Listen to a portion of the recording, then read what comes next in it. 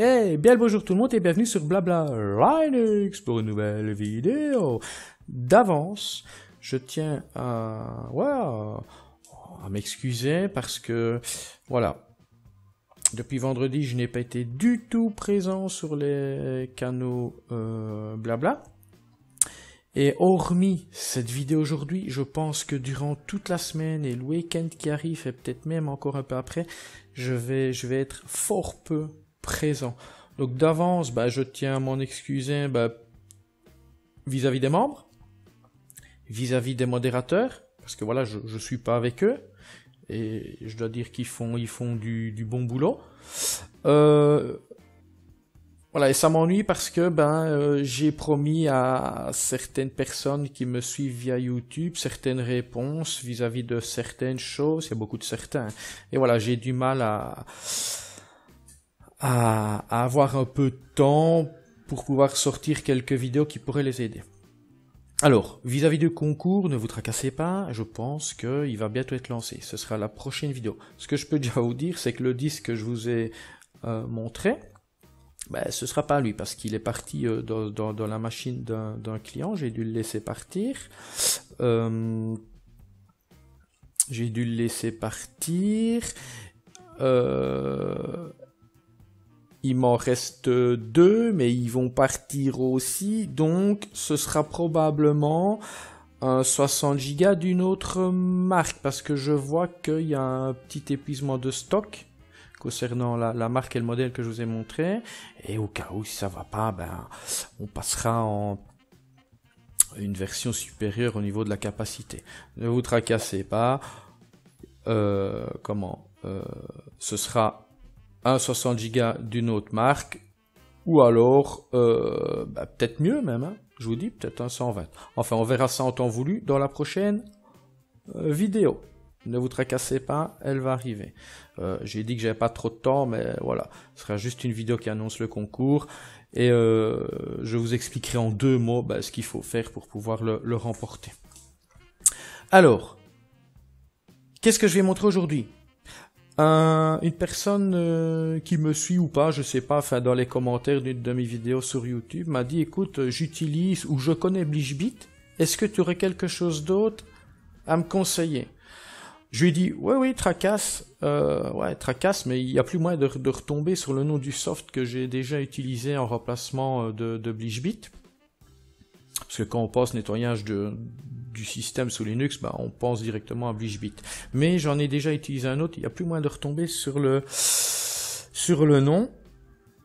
Donc j'ai fait quelques fouilles, et en faisant mes fouilles, je suis tombé sur un soft que j'ai déjà testé, et euh, je dois dire qu'il était pas mal. Maintenant, c'est pas un, un soft, c'est pas un utilitaire dédié au nettoyage. Vous allez voir, c'est plutôt une petite boîte à outils. Hein? Donc, ce qu'on va faire, vous démarrez votre navigateur et via votre moteur de recherche, vous tapez tout simplement, vous introduisez Stesser. Stesser. Voilà, regardez. Il y a même le premier lien, c'est le GitHub. On clique dessus. Voilà, voilà, voilà. Euh, voilà. Regardez. On va aller sur, ce forge. Voilà, version 1.0.7. Voilà. Je vais aller chercher le point deb, celui-ci.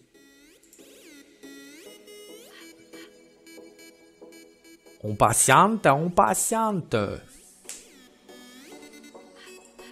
Euh, une bonne trentaine de mégas, je pense, le, le point deb.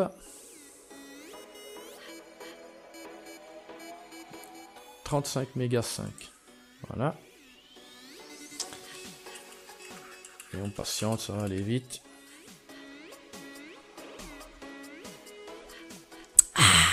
Ah, bon café.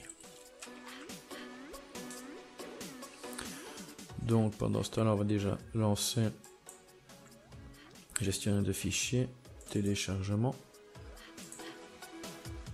Et ben voilà, je pense que... Ah non, presque fini. Stesser 1.0.7, architecture 64 et c'est un point deb. On n'a plus besoin du, du navigateur web. Euh, alors, si jamais, moi ici je suis sous Mint, donc bah, ça va être simple. Hein. Clic droit, ouvrir avec l'installateur de paquet G2B. Si vous êtes sur, euh, je sais pas moi, sous Ubuntu, une variante officielle ou une distribution euh, dérivée qui n'utilise pas G2B, bah, via le terminal, sudo apt install G2B. Ok, parfois G2B-GTK. Et vous aurez l'installateur de paquet G2B. Ben, moi, clic droit, ouvrir avec l'installateur de paquet G2B.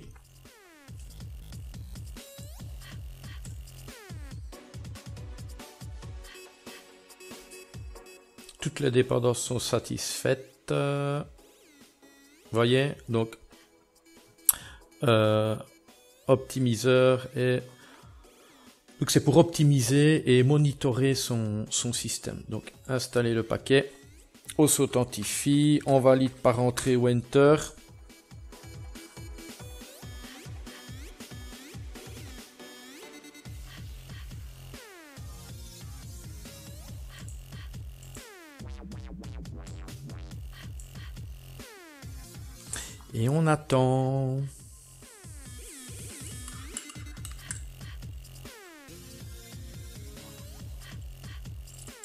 Voilà, installation terminée. On peut fermer l'instance G2B. Le point deb, on n'en a plus besoin. Et là, ben, c'est un peu plus simple. Hein. ST, on peut voir Stesser. Voilà, moi je vais le mettre au tableau de bord, ajoute au tableau de... Ah merde, j'ai mis au bureau. Euh, clic droit, ajoute au tableau de bord. Toi, ben, j'ai pas besoin de toi là. Hein. Donc voilà.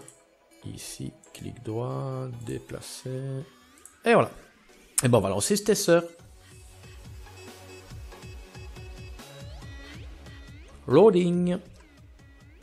Et voilà. Oh que c'est beau. Je me demande, je, je, me demande si, euh, ouais, c'est maintenant si Actualia n'avait pas fait une vidéo sur ce soft. Ouais, je, je sais pas. Hein.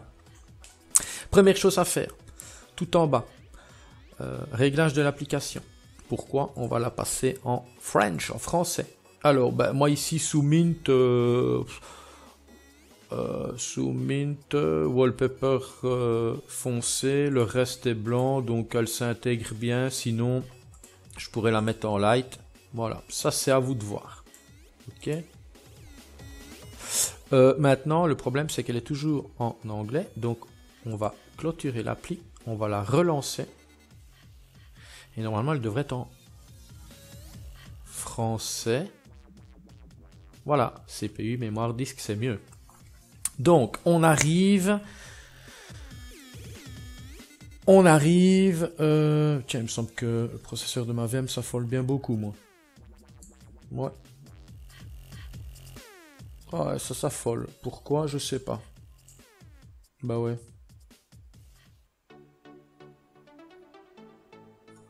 peu, je contrôle juste un truc. Ouf. Ouais, bizarre ça. on verra le rendu de la vidéo. J'espère que ça ira. Alors, quand on lance Tesser, on arrive sur le tableau de bord qui vous donne un aperçu de quoi? Du CPU, de la mémoire, du disque. Euh, s'il y a des téléchargements euh, qui sont en train de s'effectuer ou des téléversements, eh ben vous aurez un rendu. Donc au niveau des débits. On a des infosystèmes, non d'autres. Hein, BBLX, donc mon utilisateur, euh, Mint, ben, mon système, et j'ai précisé que c'était en VM. Plateforme Linux architecture 64, distribution Mint en 18.2, le noyau 4.8.0. Le, le modèle du la marque et le modèle du processeur, la vitesse d'horloge et le nombre de cœurs. Ok. Deuxième onglet, ah, nettoyeur système. C'est ça qui intéressait notre ami. Euh, ça me semble bizarre que mon système s'affole comme ça. On va peu fermer tout. Voilà. Et on peut faire ça, ce sera plus agréable normalement. Voilà. Alors, est-ce qu'on peut agrandir cette fenêtre? Oui. Euh. Ah non, on peut. Ok. Donc, c'est ça qui intéressait notre ami. Est-ce que tu as un soft euh, qui permettrait de remplacer BleachBit Ben voilà, dans Stesser, l'onglet qui va te permettre de remplacer BleachBit. Euh, maintenant, BleachBit au niveau de, cette... Allez, au niveau du nettoyage système, ben, je vais pas dire qu'il est imbattable, mais il va te proposer beaucoup plus de choix au niveau du, nettoyage. Ici, ben, le cache au niveau des paquets, rapport d'erreur, log système, cache d'application, corbeille. On peut analyser, on va essayer. Voilà. J'ai cliqué sur analyse du système. Ouais. Ah, je dois peut-être... Ok. Voilà.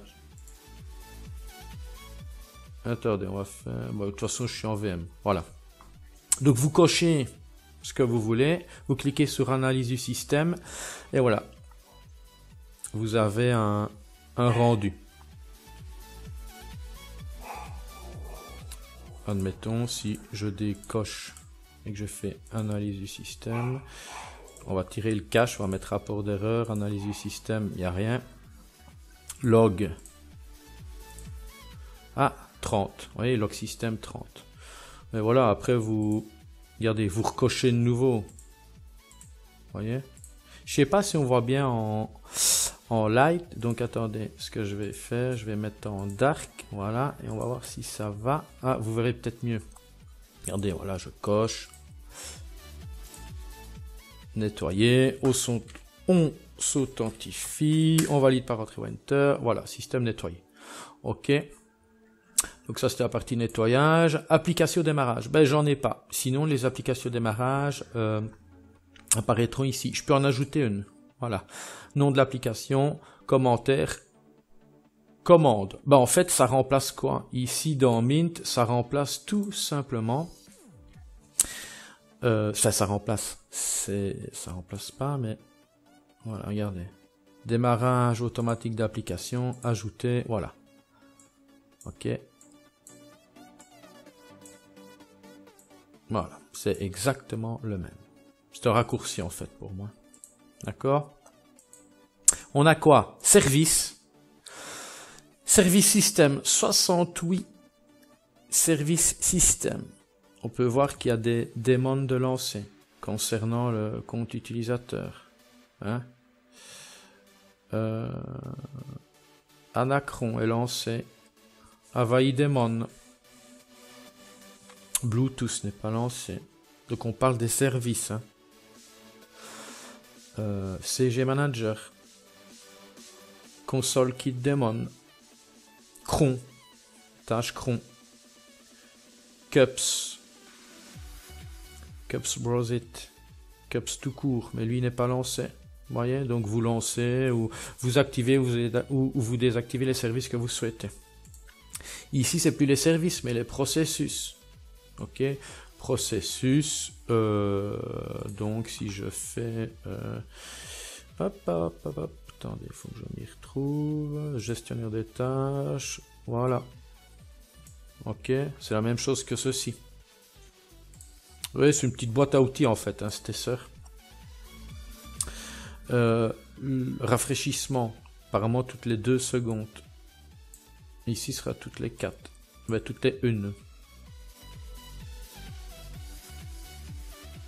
Ok. Alors, un désinstallateur. À tester. J'ai jamais testé. Euh, un désinstallateur. Attendez un peu. On pourrait tester si je fais libre, libre, libre, LibreOffice.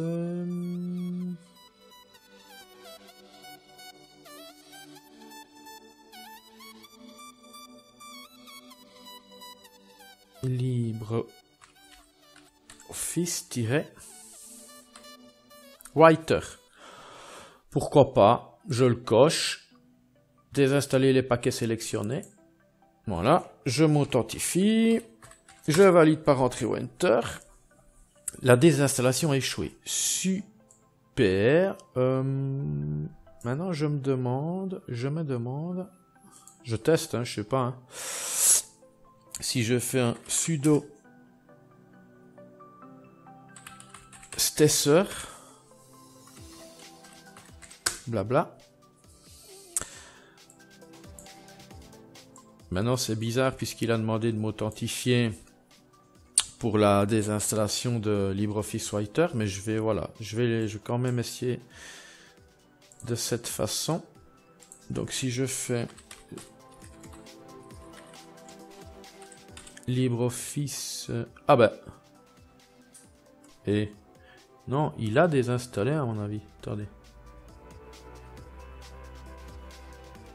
LibreOffice. Ok, on va voir. Hein. autrement, je suis con. On va se rendre dans bureautique.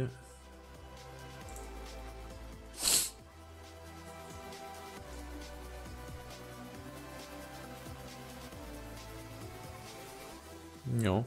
Mais par contre, on ne le trouve plus ici. Maintenant, je vais essayer quelque chose d'autre. Je vais essayer de relancer Stesser, mais sans le sudo.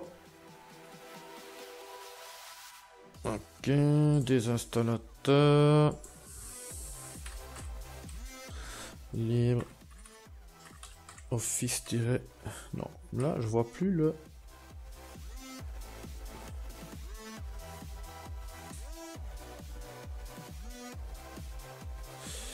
Que je vais peut-être faire aussi, c'est. Euh...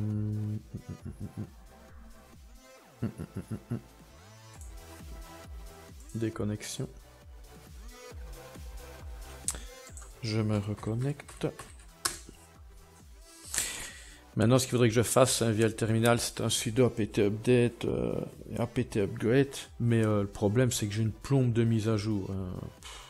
Donc ça va prendre trop de temps, donc je vais pas le faire.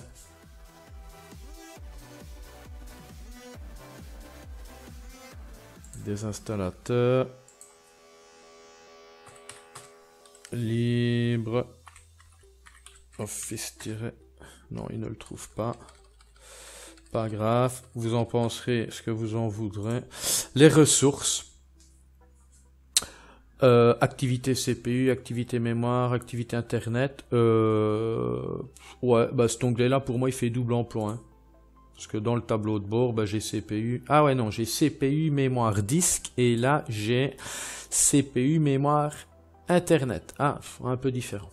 Et alors, option de l'application, vous l'avez vu. Voilà, vous en penserez ce que, ce que vous voulez. Bah, il est, voilà, il, il est simple. Euh, L'onglet nettoyeur système a l'air de bien fonctionner. Application démarrage. Euh, Application. Attendez, je vais essayer quelque chose. Si je fais. Attendez. Hein. Libre.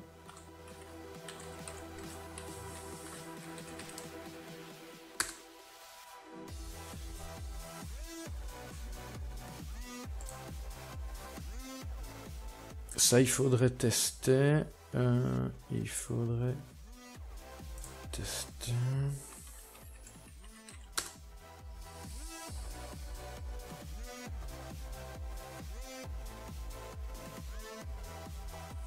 Firefox, ok, ok, nom de l'application,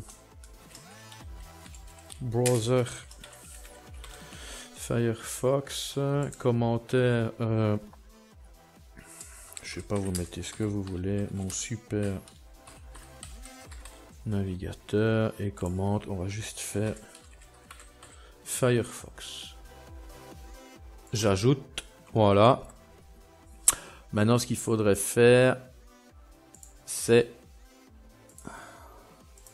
je suppose qu'en se déconnectant Et en se reconnectant,